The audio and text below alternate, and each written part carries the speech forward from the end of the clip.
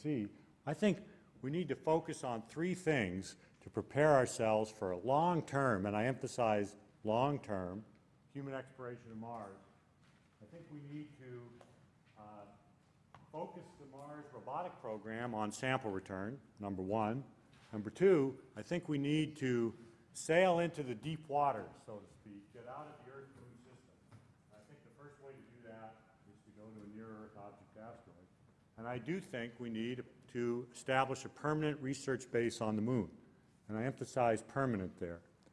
Uh, so this is the goal, to establish a base on Mars, not to go to Mars, but to stay on Mars.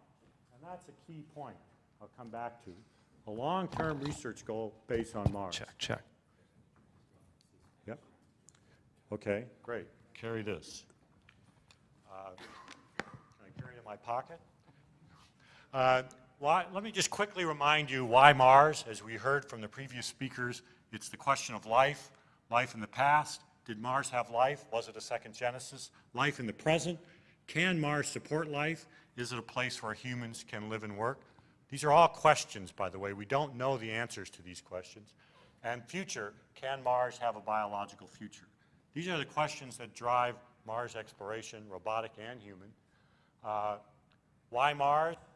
Why are we asking these questions of Mars? Very quickly, because evidence that Mars had water, the presence of an atmosphere with carbon and nitrogen in it, and the good potential for preservation of evidence of past life in the cold, dry conditions on Mars. Uh, as we've heard before, there's water on Mars. Mariner 9 discovered water, and it's been rediscovered by every other mission since then.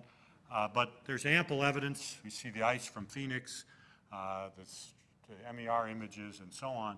There was water on Mars on the surface, and that's the fundamental reason why it's interesting. Our goal is to establish a research base, and as I'll argue many, many times this morning, it's to uh, establish a research base that operates for a long time.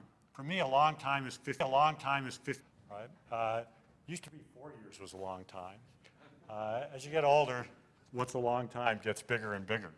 Pretty soon it'll be 200 years for me. Uh, what do we need to do before we can establish a 50-plus research base on Mars? Again, this is those same three points. We need to integrate the Mars program with human exploration. Right now, NASA has two Mars programs. One in ESMD and one in SMD, to use the NASA jargon. Uh, sample return is the key mission that connects the robotic and the human exploration, and I'll come to that in a second. We need to fly beyond the moon.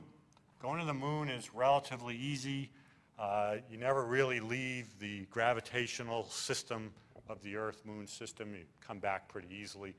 We need to learn how to fly beyond that, and a an Apollo 8-like mission to an NEO or to Phobos is the key there. And I think we need to build a permanent base on the moon. I'll go to each of these in turn. First, let me remind you, we have two Mars programs, and I think our key goal for the immediate future is to push for the unification of those two programs. This is what I call NASA's Mars Program 1, human exploration of the moon and Mars.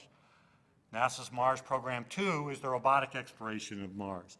And these two programs go to great pains to distance themselves from each other. You, you'd think that they were being operated by different, not just countries, different planets. Um, and there's really no reason for that. And we're, it's a good time to force a coherence now because the Mars science program is at a crossroads. Uh, partly uh, precipitated by the uh, cost overruns and schedule overruns of MSL, but a variety of other things as well. I'm not going to go through them to detail. The bottom line is that the rationale for Mars having a separate program has to change. For the last 10 years, it has been the search for life. Mars was a special target because it was the only place we could go to to search for evidence of life. That is no longer the case. Now there's other targets, Enceladus, Europa, and Titan, that compete, and one would even say excel with respect to Mars in terms of the search for life. What's special about Mars now and why Mars deserves to still have a special robotic program is not the search for life. It's the fact that it's a potential future site for human exploration. And the Mars program, in a sense, realizes this. They've run out of the political capital associated with the search for life, in my opinion. And uh, it's a MSL is going to test that to its breaking point. Um, Okay. Sample return is where the Mars program it realizes it needs to go to, and it's a good mission to connect human and robotic exploration. Uh, The first sample return could be a very simple mission. It lands, scoops up some dirt, puts it in a rocket, sends it back to Earth. But ultimately, we need to use the same approaches to do sample return that we will use to send humans. So the sample returns will be our first round trips to Mars. Will, that's an important concept. Humans, our robotic missions to Mars to date have been one-way trips. I know the next speaker will talk about humans on one-way trips, but at least NASA's official approach is humans are going to do round trips. Uh, sample return will be our first round trips. We might as well use that technology that we're going to develop for humans to do sample returns. So there's been a study looking at how we could use the same rockets and vehicles uh, to drive sample return. So there, uh, to look at doing a large mass at Mars, uh, landing vehicles to do multiple sample returns to Earth using the Ares 5 launch vehicle. And I'll just quickly show you some of the highlights of that. Uh, you can pack a lot of mass into an Ares 5, send it to Mars. You can do a sample return in a single uh, mission. And the sample return is key because it's the logical intersection between the two Mars programs. And I, I think that uh, we should focus on that within the Mars community, push hard for sample return. Why? First, it's got enormous scientific value. As Paul just said a few minutes ago, the level of analysis we can do here on Earth with return samples is enormous compared to what we can do in situ. Uh, it's directly relevant for scientific preparation for human exploration. If we're going to land uh, on a place on Mars and build a base, it'd be nice to have a sample of the dirt in advance so we don't have the sort of surprises we had with Phoenix, as you saw in the earlier talk, where the dirt didn't behave the way we think proper dirt should behave. Right? So you go to Mars with all this equipment to move the dirt, the dirt doesn't do what you want it to do, you're in trouble. So you, it's almost a operational requirement to get a sample return from the site where you're going to put the base, as well as the safety, as well as the safety rate, for example. Big surprise from Viking, as you heard about. Well, perchlorate on Mars is at 1%. Just to put that in context, uh, DOD sites, uh, if the perchlorate in the groundwater is above 26 parts per billion, it becomes a cleanup site.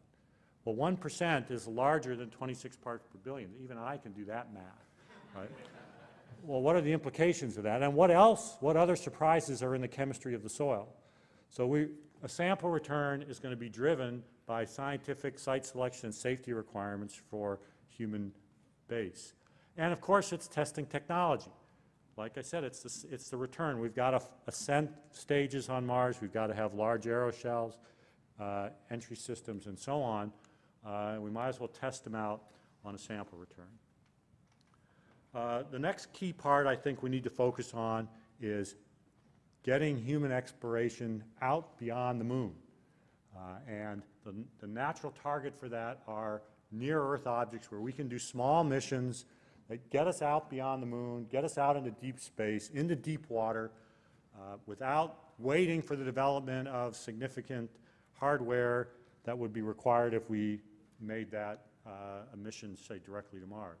Here, for example, is a 150-day mission to a small object that was part of, again, a constellation-supported study looking at using constellation hardware for near-Earth object uh, missions. Here's a table of possible targets put together by Mal Lecomte and Tom Meyer. Possible targets, when you could go there, how long the missions would be.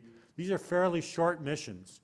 They don't tax our capability to do life support. They don't tax the technology development. You don't need to develop a lander in a ascent stage.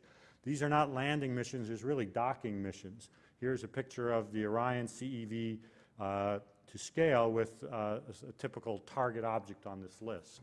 Right? And these are missions that also resonate with the public. Uh, I get a lot of calls, sometimes from my family, saying, well, what are you doing to save the Earth from killer asteroids?